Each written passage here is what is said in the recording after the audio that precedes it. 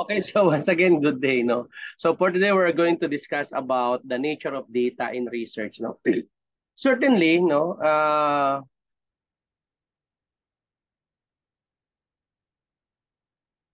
in the realm of research, the nature of data is diverse and multidimensional, no? accommodating various forms and sources essential for comprehensive analysis and understanding. Data can be broadly categorized into qualitative and quantitative types. Qualitative data, predominantly descriptive and non-numeric, capture the essence of subjective attributes, opinions, and behaviors. It delves into the richness of human experiences relying on methods like interviews, observation, and open-ended surveys to generate a narrative-based insights. Contrarily, no, quantitative data involves numerical measurements and, counts involving objective analysis and statistical interpre interpretation. So it deals with quantifiable observation employing methods such as experiments, structured surveys, or sensor data collection. And this numeric form uh, is crucial no, in measuring, comparing, and statistically evaluating phenomena, providing a different lens through which a comprehensive research question. So, the distinction between qual qualitative and quantitative data extend further to primary and secondary data sources primary data in a sense that it is a person originating from research and activities such as experiments, surveys, or direct observation. This form of data collection involves gathering information directly from the source, offering an inclusive perspective tailored to the research specific needs. Conversely, secondary data is pre-existing, source from already available materials such as uh, publication, databases, or previously conducted studies. It constitutes information that has been collected, processed, and made uh, accessible by others, providing a pool of knowledge that can complement primary research or stand alone for certain types of analysis. Both forms of data play crucial roles in research because qualitative data enriched with narratives and descriptions illuminates the contextual nuances and subjective aspect of the research subject. It enables an in-depth understanding of human behaviors, attitudes, and experiences, offering insights that quantitative data might overlook. On the other hand, quantitative data, being numeric and objective, lends itself to statistical analysis, aiding in measurements, comparison, and establishing correlations and patterns. Together, the integration of qualitative and quantitative data and research can offer a holistic view, combining the richness of stories and experiences with the precisions of numbers and statistical trend, thereby contributing to a more comprehensive understanding of the subject under investigation. Understanding the nature of data research is paramount as it shapes the methodological approach and analysis. Researchers often employed a mixed method approach, yun yung combination ng quali and quanti, harnessing the strengths of both quali and quantitative data to attain a more robust understanding of the research question. and these blends of data types allow for triangulations where different data sources and methods validate and complement each other, enhancing the rigor and reliability of the research finding. In essence, the nature of the data and research is not just about classification, but about leveraging the inherent qualities of each type to enrich the depth and breadth of scholarly inquiry. And to give us more details about the topic, let us all welcome our presenter. Go ahead.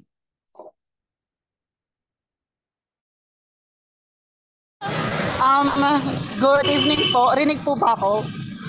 Yes, go ahead. Wait lang po sir, tatawid lang po ako.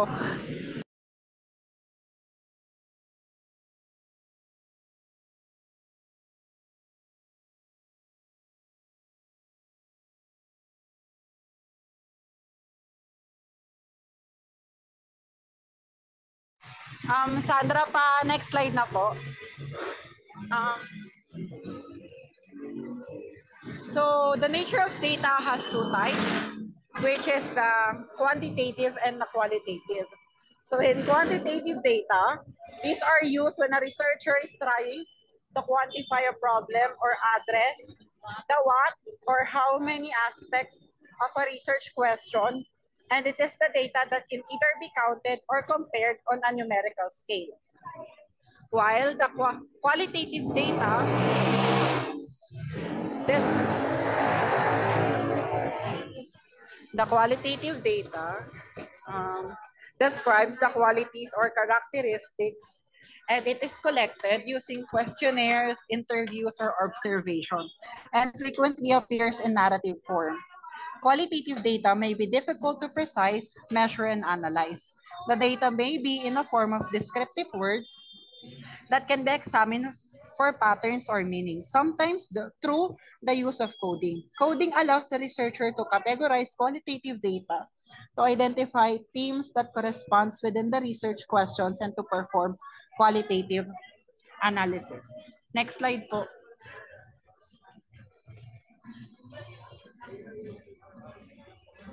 Ala, invisible.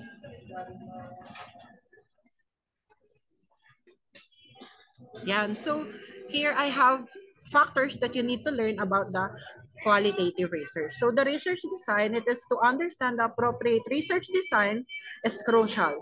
Researchers need to de decide whether they will use cross-sectional or longitudinal studies, experiments, surveys, or observational method, depending on the research questions and objective. So in variables, researchers must identify and define the variables and they are, they are studying. This includes independent variables, factors being manipulated or observed, and dependent variables so that the outcome is being measured. So in hypothet hypothesis formulation, formulating clear and testable hypothesis is found fundamental researcher and need to be specific prediction about the relationship between variables. Next slide, please. Yan. In sampling, on the other hand, it is to learn about sampling techniques and is essential to ensure the chosen sample is representative of the population of interest. This also involves understanding concepts like random sampling, stratified sampling, and sampling error. In data collection, researchers, researchers should learn how to collect data systematically and consistently. This includes designing questionnaires or survey, conducting interviews, or setting up experiments. In measurement, it is to understand the measurement scale, nominal, ordinal, interval, and ratio. And the importance of reliability and validity in measurement is crucial. Researchers should know how to select appropriate measurement instrument. Next slide po.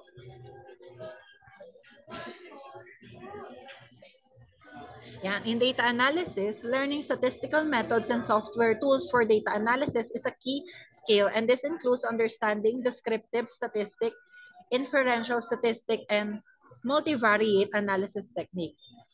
In statistical software, for familiarity with statistical software like SPSS, SAS, R, or Python with libraries like Pandas and Numpy is often necessary for quantitative data analysis.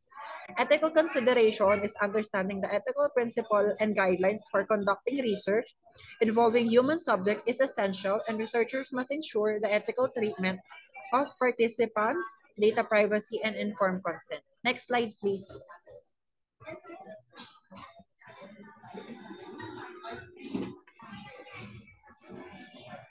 So in research set ethics, researcher must be aware of ethical considera consideration in research, including issues related to be informed, consent, data handling, and potential conflicts of interest. In budgeting and resources, quantitative research are often re requires resources for data collection, analysis, and possible possible participant compensation. Researchers need to manage their budgets and resources effectively. And time management, it is to manage the time required for data collection, analysis, and reporting is important to ensure that the research project stays on track. Next slide, please. And we have peer review. It is to understand the peer review process and how to under respond to feedback from peers and reviewers. It is cr also crucial when submitting research for publication. And the last one is continuous learning. So research methods and statistical techniques are constantly evolving. So researchers should be open to ongoing learning and staying updated with the latest development in their field. Next slide po.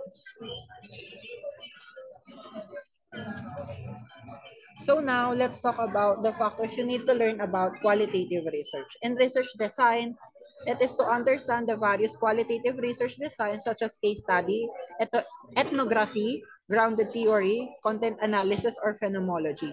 Choose a design that aligns with your research objective. In data collection methods, learn about different qualitative data collection methods, including interviews, focus groups, participants, observation, document analysis, and visual methods. Choose the method that best suits your research question. The next one is sampling. It is to understand the qualitative sampling techniques such as purposive sampling, snowball sampling, or theoretical sampling to select participants or source, sources that provide rich and relevant data. Next slide, please.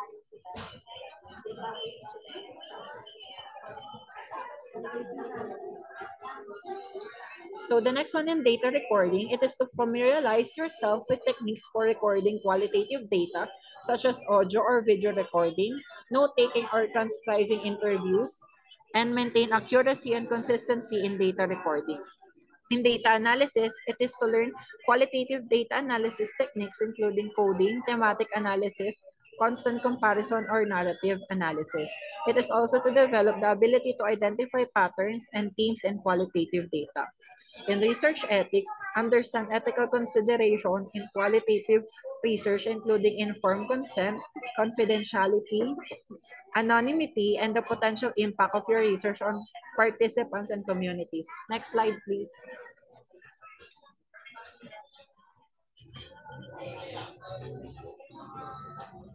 And reflexibility, it is to acknowledge and reflect on your own role and biases as researchers.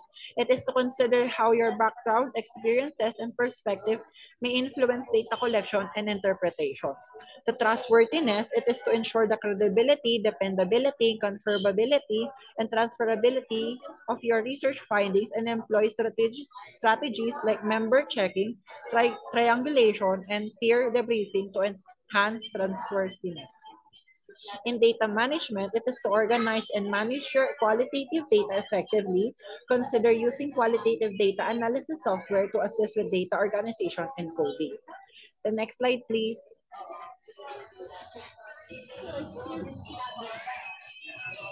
In theory develop, development, it is to acknowledge... Ay, na ulit. Next slide po.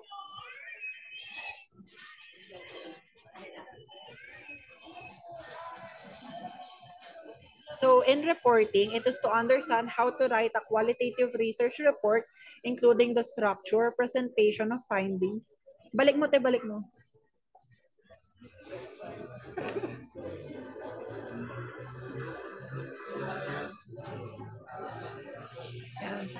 Sorry to interrupt. It is understand how to write qualitative research report, including the structure, presentation of findings, and the use of quotes or excerpts to illustrate key points. In literature review, it is to conduct a comprehensive literature review to understand the existing knowledge and theories related to your research topic. Next slide po.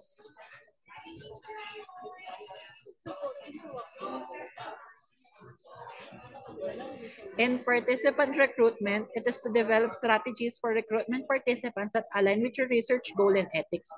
It is to ensure that you've gained informed consent from all participants. Contextual understanding is to appreciate the importance of understanding the social, cultural, and historical context of your research topics as these factors can influence data interpretation. In time management, it is to plan your research timeline carefully as qualitative research can be time intensive, particularly during data collection and analysis. Next slide, please.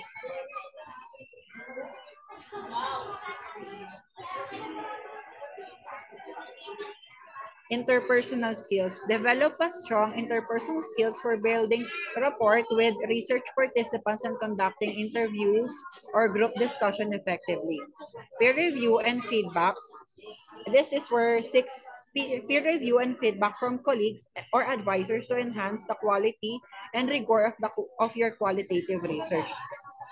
And the next one is continuous learning, same as quantitative. It is to stay updated with the development in qualitative research methods and approach through workshop, courses, and engagement with qualitative research community. Next slide, please.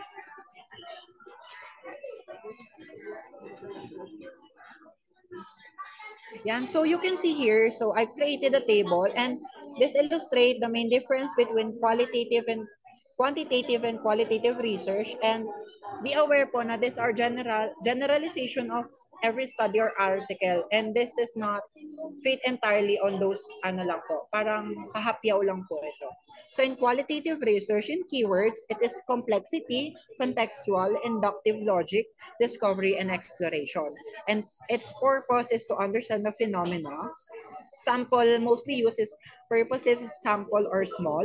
Data is focused on groups, interviews, and field observation. And methods, methods and design are, are phenomenological, grounded theory, ethnographic, and case study, historical narrative research, participatory research, and clinical research. The next, next slide, please.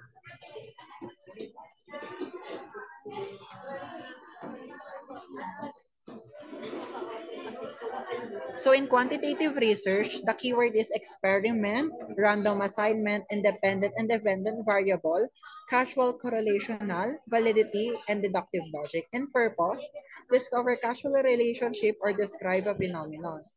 In sample, it is sample, random sample, and large. Data is test, survey, and questionnaire. So in methods and design, you can use experimental, quasi-experimental, descriptive, methodologic, methodological, exploratory, comparative, correlational, developmental, or the cross-sectional, longitudinal, and pros prospective or cohort, retro-prospective, ex post facto, and case control. Next slide, please.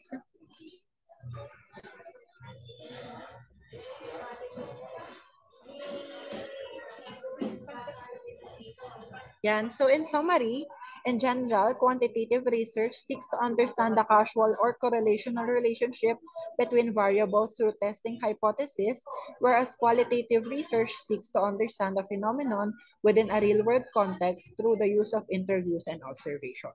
And that's all for my report, the topic seven, nature of data. So the next slide po, I have I have created an exercise and the, the exercises give five factors, each for qualitative and quantitative research, and explain each. Maximum of 100 words. Thank you po. Okay, thank you so much. No?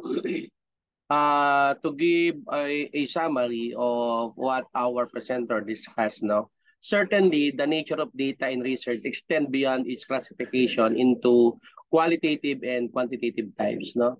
Uh, this depth involves a consideration of data's characteristics na such as such as its structure, skill of measurement, and level of analysis. Regarding structure, data can be structured or unstructured. Structured data is organized no, and follows a predefined format, often found in databases, no, spreadsheet, uh, or quantitative research where each piece of data is categorized into specific fields of variables on the on variables. On the other hand, unstructured data lacks uh, a predefined structure and often uh, includes text, images, videos, or qualitative informations that doesn't fit neatly into categorized fields. The scale of measurement refers to the level at which data is measured and it can be categorical, no, ordinal, interval, or ratio. Categorical data represent distinct categories without any inherent order like type of cars or colors. Ordinal data exhibit categories with a specific order or rank such as educational degree. No? Uh, interval and ratio data involves numerical values. However, ratio data possesses a true zero point, while interval data does not. No? So, moreover, data can be analyzed at different levels, including individual, group, aggregates levels. So individual levels, uh, analysis focus on specific data points or cases, whereas group level analysis involves aggregating data points uh, to study trends, patterns, or relationship among groups of data. Aggregate level analysis uh, often deals with summarized data, combining and analyzing data from uh, multiple sources or studies to draw broader conclusion. Another, uh, understanding these additional characteristics of data in research is its structure, scale of measurement, and levels of analysis provides the researchers with a deeper comprehensions of the intricacies involved in the data collections and analysis processes. It further influences the choice of appropriate analysis techniques, ensuring the data's relevance and meaningful inter interpretation in the context of the research objective. So I think that's it for module number seven.